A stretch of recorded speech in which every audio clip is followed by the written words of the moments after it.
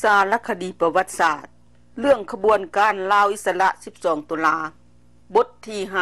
55 ที่พาดหัวเรื่องว่า การรัฐประหารของพันลาบอากาศที่สองการหนีออกจากทงไหหินของกองพันที่สองของแนวลาวหักศาสตร์การตนนีเข้าป่าของบรรดาพนักงานของลาวอิสระและแนวลาวหักศาสตร์เพื่อหนีจากการปราบปราม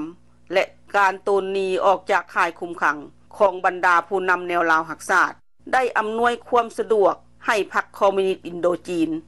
ส่งกำลังเข้ามาทำการเคลื่อนไหวในลาวคืนใหม่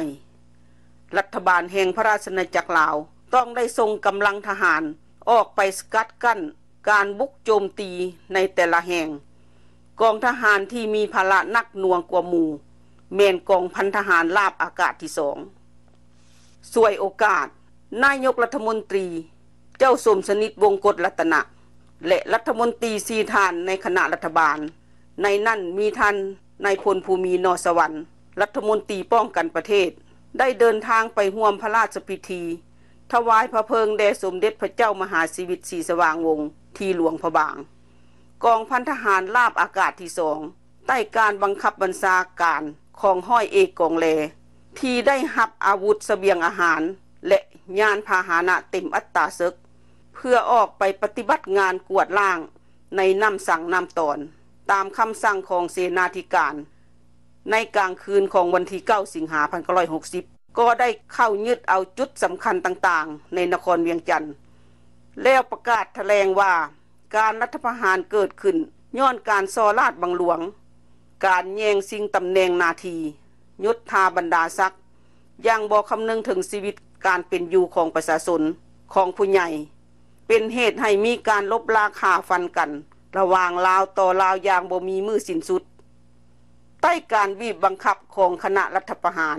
และการกดดันของมหาชนในนครเวียงจันทร์ในวันที่ 12 สิงหาพัน960สภาผู้แทนราษฎรได้ลงมติบ่ไว้วางใจรัฐบาลของเจ้าสมสนิทวงกฎรัตนะ เสด็จเจ้าสุวรรณภูมิมาได้หับมอบหมายให้จัดตั้งคณะรัฐบาลขึ้นใหม่ ประกอบด้วยนายกและรัฐมนตรีทั้งหมดเจ็ดฐาน ในวันที่ 17 สิงหาพัน960แต่นายพลภูมินอสวรรค์และคณะภูมินบ่ยอมหับหู้รัฐบาลใหม่ ที่เสด็จเจ้าสุวรรณภูมิมาจัดตั้งขึ้น เพื่อลีกเว้นจากการนองเลือด เสด็จเจ้าสุวรรณภูมิมา ได้ติดต่อเจรจา พื่อหาทางตกลงกันโดยสันติวิธี กับนายพลภูมินอสวรรค์ทีสวรรณเขต นายพลภูมินอสวรรค์ จึงเห็นพ้อมให้มีการปรับปรุงคณะรัฐบาลใหม่ เพื่อความปลอดภัยของทั้งสองฝ่าย กองประชุมสภาผู้แทนราษฎรได้เปิดขึ้นอยู่หลวงพะบาง ในวันที่31สิงหาพัน960หับห้องเอาคณะรัฐบาลใหม่ ที่ประกอบด้วยรัฐมนตรี 14ทาน ในนั่นมีทานนายพลภูมินอสวรรค์ เป็นห้องนายกรัฐมนตรี และรัฐมนตรีมหาดไทยและประชาสงเคราะห์เมื่อพระบาทสมเด็จพระเจ้ามหาชีวิต ทรงมีพระราชองค์การแต่งตั้งเรียบร้อยแล้วหวังว่าเหตุการณ์ในประเทศจะดีขึ้น แต่กงกันข้าม ในวันที่3ธันวาพัน960นายพลภูมินอสวรรค์ แทนที่จะมาหับนาทีที่นครเวียงจันทร์ผัดเดินทางไปพบ จอมพลสฤทธิ์ธนรัตน์ที่บางกอก แล้วเดินทางกงไปยังสวรรณเขต ประกาศจัดตั้งคณะปฏิวัติ ปราบการรัฐประหารของห้อยเอกกองแลขึ้น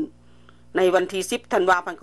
1960 โดยเอาเสด็จเจ้าบุญอุ้มนจำบศักเป็นหัวหน้า พร้อมกันนั้นก็ทรงกำลังหนึ่งกองพัน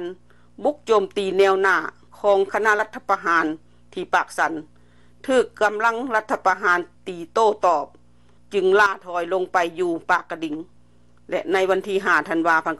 1960ก็ทรงกำลังทหารสองกองพัน โดยอาศัยรถบรรทุกของกองทัพไทย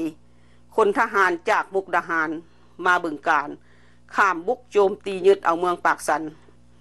เมื่อเห็นว่ากำลังของคณะรัฐประหารบ่มีกำลังจะป้องกันนครเวียงจันทร์ไปได้ดนนาน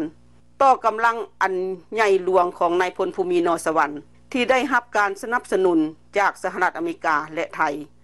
เสด็จเจ้าสุวรรณภูมิมาจึงเรียกประชุมคณะรัฐบาลอย่างสุกเสริญ ในวันที่7ธันวาคม1960 ที่ประชุมได้ตกลงให้เสด็จเจ้าสุวรรณภูมิมาหนีออกจากประเทศไปยังประเทศเป็นกลางเป็นการสัวข่าว จึงมอบอำนาจคณะบัญชาการ อันมีทานพันเอกธรรมไสยสิทธิเจนาเป็นหัวหน้านายพลสุนทรประธรรมวงศ์ และห้อยเอกกองแลเป็นผู้ร้อง ในตอนเศร้าของวันที่9ธันวาคม1960 เครื่องบินลำหนึ่งของบริษัทลาวเดินอากาศ ได้นำเอาเสด็จเจ้าสุวรรณภูมิมา พร้อมด้วยรัฐมนตรีสีทาน และนายทหารสองทาน เดินทางไปยังกรุงพนมเปญประเทศกัมพูเชีย ในตอนแรงของวันที่9ธันวาคม1960 ท่านกินนิมพลเสนา และห้อยโททันสุมพลพักดี ได้บินด่วนไปฮานอย เพื่อขอความช่วยเหลือด้านอาวุธจากเวียดนามและโซเวียต และในวันที่ 11 ธันวาคม1960 เครื่องบินอิลยูชินของโซเวียต 14 ลำ ก็บินมาลงสนามบินวัดไต พร้อมอาวุธหนักหลายชนิด และท่านไกรสอนพรมวิหาร พร้อมด้วยนายทหารเวียดมินจำนวนหนึ่ง หลังจากได้สั่งการให้ท่านหนูฮัก พูมสะหวันและท่านสิงกะโป สีโคดจุนละมาลี และท่านศรีสนะสีสาร แล้วท่านไกรสอนพรมวิหาร ก็เดินทางกลับฮานอยในวันเดียวกัน เวลา 13โมง30 ของวันที่ 13 ธันวาคม1960กำลังของนายพลภูมินอสวรรค์ ก็เปิดสากบุกโจมตีเข้านครเวียงจันทร์สองด้านพร้อมกัน การสู้รบอยู่กลางเมืองดำเนินไปเป็นเวลาหาวันหาคืนทำให้ผู้คนเสียชีวิตอย่างน้อย 600 คน และถูกบาดเจ็บพันกว่าคน จนถึงวันที่ 17 ธันวาคม1960 กำลังของห้อยเอกกองแลจึงถอยออกจากเวียงจันทร์มุ่งหน้าไปสู่เมืองวังเวียง นายพลภูมินอสวรรค์มั่นใจว่ากำลังของห้อยเอกกองแล ต้องไปยึดเอาหลวงพระบาง จึงเฝ้าจัดส่งกำลังสามกองพันไปป้องกัน แต่กำลังของห้อยเอกกองแลกลับไปยึดเอาธงไฮหิน อันเป็นจุดยุทธศาสตร์สำคัญทางภาคเหนือของลาว ในวันอาทิตย์ที่หนึ่งมกราพันเก้าร้อยหกสิบเอ็ด อันเป็นวันขึ้นปีใหม่สากล ท่านผู้ฟังที่เคารพสารคดีประวัติศาสตร์ เรื่องขบวนการล่าอิสระ 12 ตุลา บทที่ 55 ได้จบลงเพียงเท่านี้ อาทิตย์ต่อไป ขอเชิญบรรดาทานผู้ฟัง จงหับฟัง รัฐบาลผสมสองฝ่ายถือคนล่ม ความถือต้องปองดองซาดถือทำลาย สบายดี